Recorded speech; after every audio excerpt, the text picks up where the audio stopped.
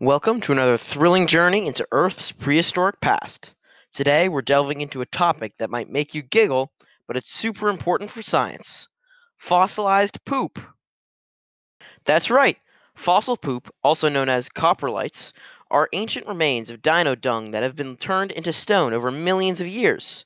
It's like a time capsule that holds clues about what ancient creatures ate and how they lived. Let's find out how scientists study these ancient leftovers. First, scientists head to a fossil rich area where they might find coprolites. These places are like nature's own treasure hunts.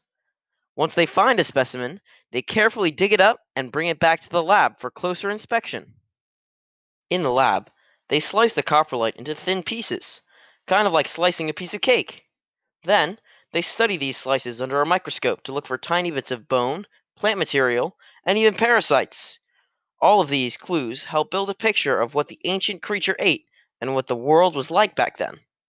By studying coprolites, scientists can identify ancient plants that no longer exist today. This helps us understand how our planet's climate and vegetation have changed over millions of years. It's like having a direct line to Earth's ancient past.